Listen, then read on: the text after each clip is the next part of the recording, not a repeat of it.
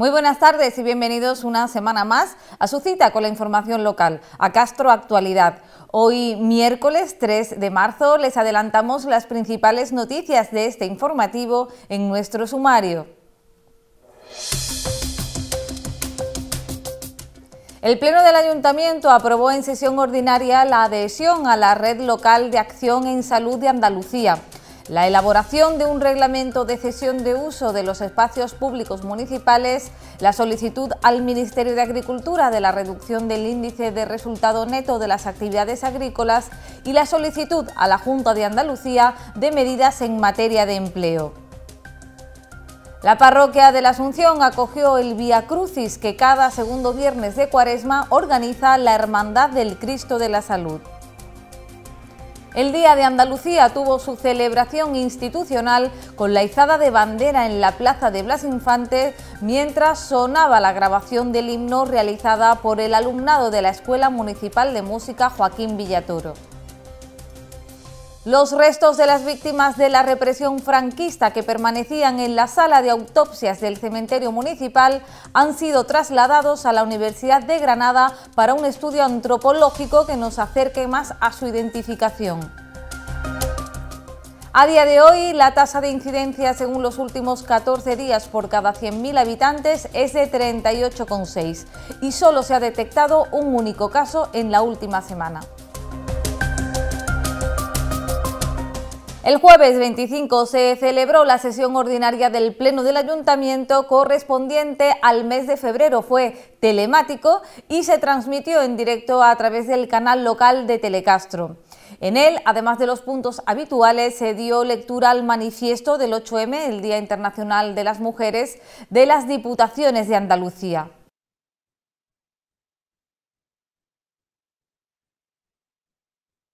Disculpad, eh, gracias, gracias Salva. Procedo a la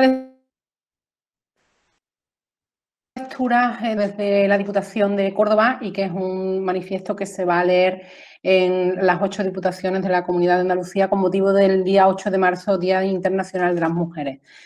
Un año más, las Diputaciones de Andalucía nos unimos para reivindicar el 8 de marzo, Día Internacional de las Mujeres Lejos queda ese 1911 en el que más de un millón de mujeres se manifestaron para exigir su derecho al voto, su derecho al trabajo, a ocupar cargos públicos, a la formación profesional y a la no discriminación. Y es largo el camino recorrido en marzo de 2021. No podemos despreciar los avances conseguidos en la conquista de la igualdad real entre hombres y mujeres. El feminismo es una historia de éxito, dice Nuria Varela, pero los progresos no han sido lo suficientemente rápidos ni profundos. Aún falta mucho por transformar hasta conseguir la igualdad de género y el empoderamiento de mujeres y niñas.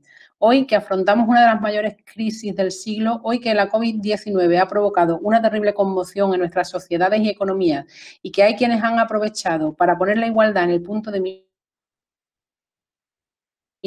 de brecha de la desigualdad. El 8 de marzo de 2018 el país se paró para gritar basta y alumbrar un mundo nuevo, libre de violencia machista, de desigualdad de trato, sin brecha salarial, para poner en el centro los, los cuidados y visibilizar que hay otras formas de consumo. Tres años después, aquí seguimos, en pie, imparables, en movimiento. No podemos imaginar aún las consecuencias de esta pandemia, pero sin duda y teniendo en cuenta la situación desigual de partida de las mujeres, los impactos negativos caerán en mayor proporción sobre ellas empezando porque la fama que sean las mujeres las que se ven forzadas a reducir sus jornadas para cuidar de la infancia y de las personas dependientes, situación que se ha visto agravada por el cierre de centros educativos en el confinamiento y que perdura aún con la práctica desaparición de actividades extraescolares y la carencia de servicios públicos que ayuden a conciliar. Los datos del Instituto Nacional de Estadística lo confirman. El tiempo que las mujeres dedican a trabajos del cuidado y del hogar duplica al de los hombres. Ellas destinan 26,5 horas a la semana frente a las 14 horas de ellos. De la despoblación en el ámbito rural, motivado principalmente por la falta de servicios públicos asistenciales y por la huida del sector privado al ámbito urbano, que hace sumamente complicada la vida en nuestros pueblos. En Andalucía, la crisis derivada de la pandemia ha agravado esta brecha de género, tal y como han puesto de manifiesto los datos de la última encuesta de población activa que revela que el año 2020 cerró con una tasa de paro femenino del 27,27%, siete puntos por encima de la tasa de desempleo masculina. Las mujeres continúan continúan asumiendo y doméstico, un trabajo que remunerado supondría una contribución a la economía mundial de al menos 10,8 billones de dólares anuales, el triple si la comparamos con la de la industria mundial de la tecnología. Si estos servicios se valoraran sobre la base de un salario mínimo por hora, equivaldrían al 14,9 del Producto Interior Bruto español. A nivel mundial representan el 9% del, del, PIB, del Producto Interior Bruto.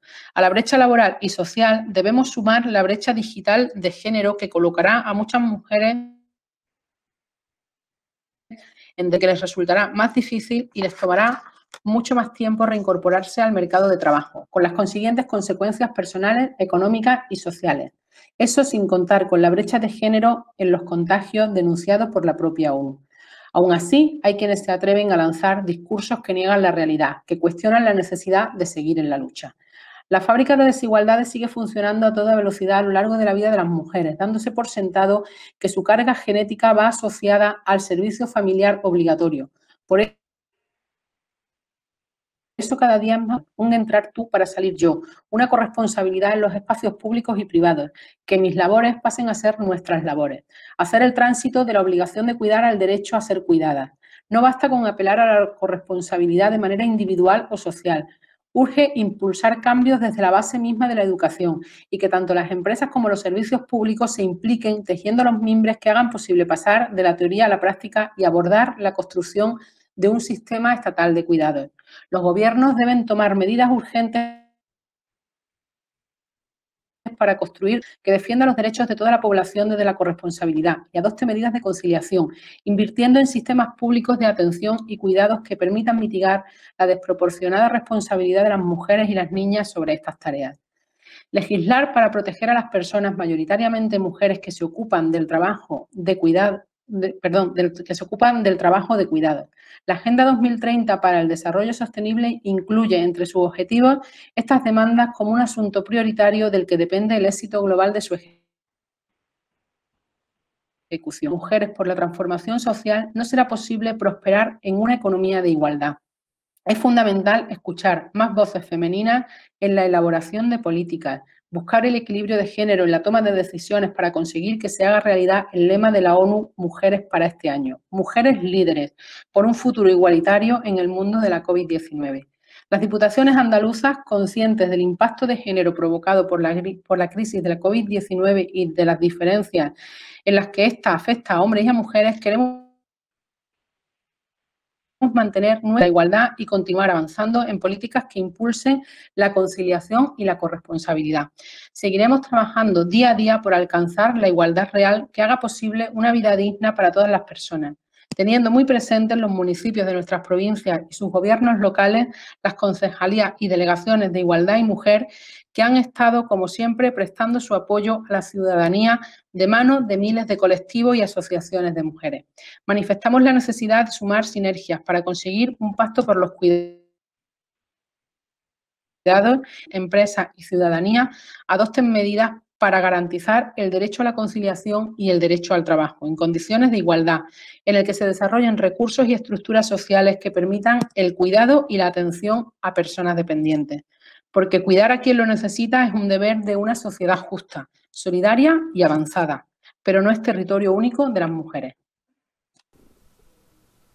Se aprobó por unanimidad un dictamen de la Corporación Municipal para, la adhesión a la Red Local de Acción en Salud de Andalucía, un servicio gratuito que aportará asesoramiento, formación y colaboración a nuestro municipio en materia sanitaria, además de un informe de la situación sanitaria de Castro del Río con las diferentes afecciones que pueda haber.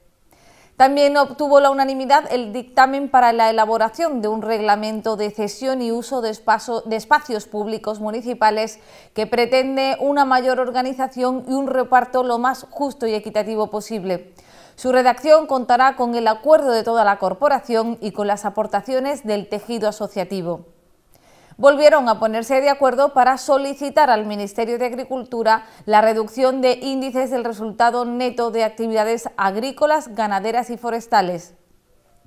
Y en el último punto aprobaron una moción propuesta por Izquierda Unida que instaba a la Junta de Andalucía a poner en marcha un plan de empleo extraordinario a la que se añadió la solicitud del alcalde de incluir otros elementos favorecedores de la creación de empleo como la puesta en marcha de las convocatorias de las escuelas, taller y talleres de empleo, así como la elaboración de planes de formación enfocados a profesiones que puedan tener una alta demanda en la provincia. En este caso hizo alusión a la reciente comunicación de instalación de la base logística militar en Córdoba, que de seguro demandará perfiles específicos. El viernes 26 de febrero tuvo lugar el Via Crucis de la Hermandad del Cristo de la Salud.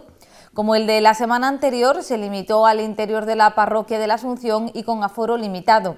Una vez más pudo seguirse en directo a través del canal local de Telecastro, nuestra página web y nuestro canal de YouTube.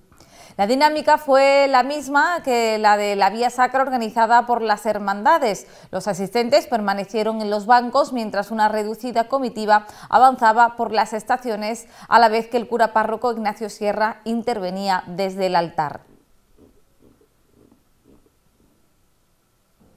Con motivo del Día de Andalucía, desde el Ayuntamiento se organizó un acto institucional.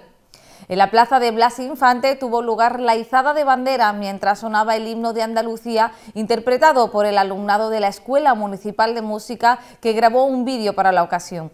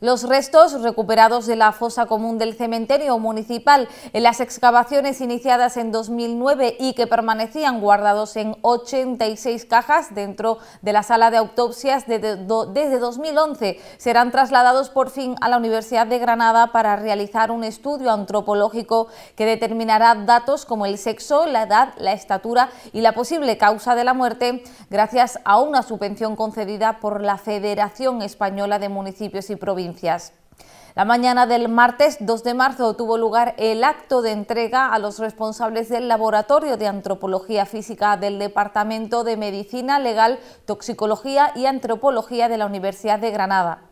Asistieron el alcalde Salvador Millán, la teniente de alcaldía Ana Rosa Ruz, el concejal Curro Sillero, el técnico municipal Antonio Morales y el director del proyecto, el antropólogo Eric Borja.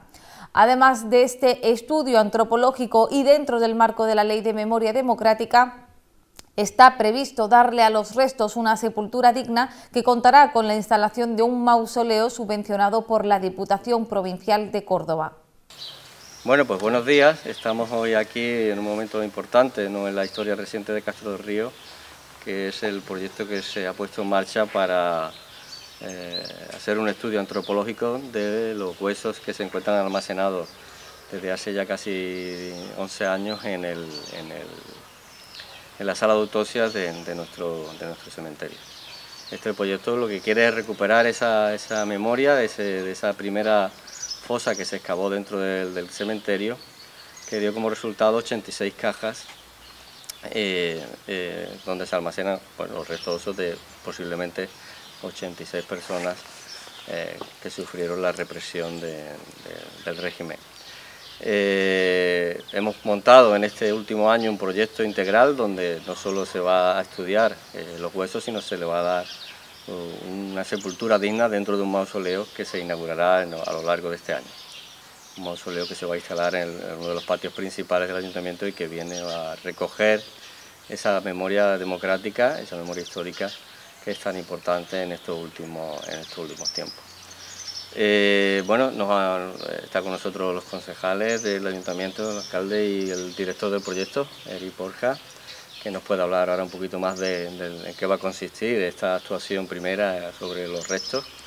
Y si te parece, Eric, sí, claro. unas pinceladas del proyecto. Por supuesto, bueno, soy Eric Borja, soy el, el director de este, de este proyecto que en conjunto con el con el Ayuntamiento de Castro del Río y la Federación de, Municipios hemos conseguido esta subvención para llevar a cabo esta labor de dignificación de nuestras víctimas y junto con mi compañera Laura también, parte del equipo, realizaremos un estudio antropológico en el cual detallaremos el perfil biológico del individuo, el sexo, la edad, eh, la estatura, la posible causa de muerte y así eh, tratar de establecer y, y, también dignificar a estas víctimas de la represión franquista y esperamos que entre los próximos meses llegará tiempo junto con el, con el mausoleo para cerrar este ciclo dentro de la historia de Castro del Río.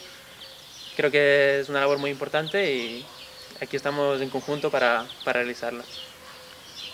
Salva.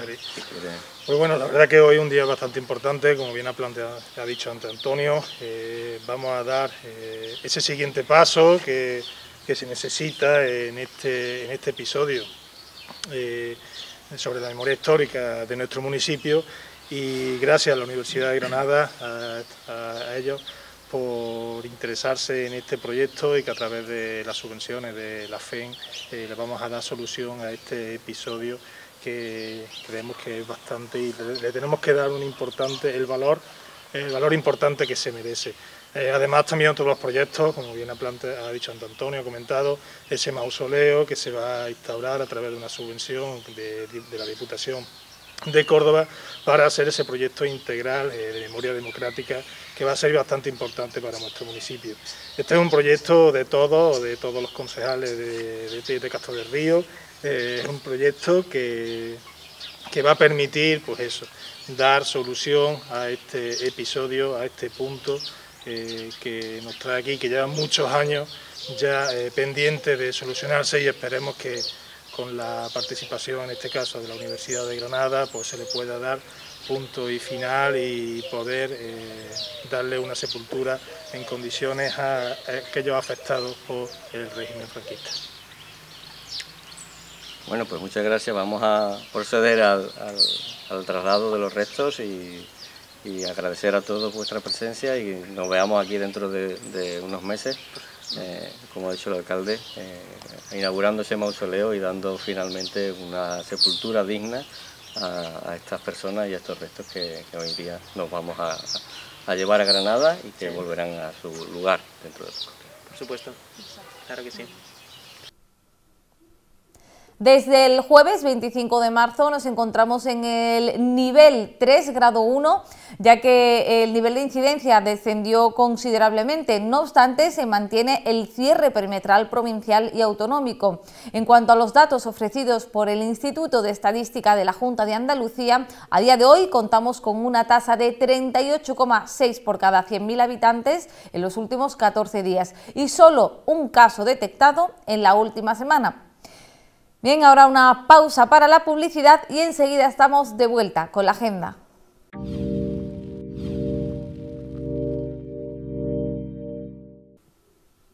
Ahora mismo se está celebrando una sesión extraordinaria del Pleno del Ayuntamiento para dar cuenta de la liquidación del presupuesto del año 2020, del cumplimiento de estabilidad presupuestaria, regla de gasto y deuda pública del cuarto trimestre de 2020 y del periodo medio de pago a proveedores del cuarto trimestre de 2020, así como la aprobación de los expedientes de modificación de crédito número 1-2021 dentro del presupuesto del Patronato Municipal de Deportes y número 1 2021 2021 del presupuesto municipal ordinario. Además, la plataforma castreña contra los recortes y la crisis ha convocado una concentración, digamos que ha retomado sus concentraciones en defensa de las pensiones para este jueves 4 de marzo a las 19 horas, las 7 de la tarde en la Plaza de San Fernando. Recordar que el área de juventud del ayuntamiento ha organizado un taller de iniciación al manejo de drones para los sábados de marzo eh, desde las 11 de la mañana hasta las 2 de la tarde, 14 horas, en el Polideportivo Municipal para jóvenes de entre 12 y 18 años. Las inscripciones se pueden realizar en la dirección de correo electrónico p.moreno.castrodelrío.es.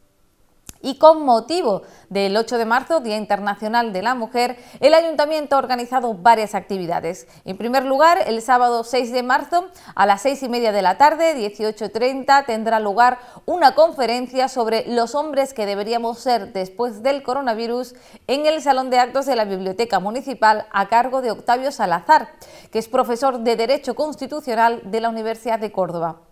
Al día siguiente, el domingo 7 de marzo, jornada de senderismo por la ruta del Arca con una reforestación con plantas autóctonas en el arroyo de Guta. Ya el lunes 8 de marzo será el acto institucional con la lectura del manifiesto por parte de la Asociación de Mujeres Alameda del Guadajoz a las 12 del mediodía y se complementará con la actividad Lecturas de Mujer en diferentes plazas de nuestro municipio. Y para el martes 9 de marzo, el Instituto Ategua tiene prevista una gincana por la igualdad.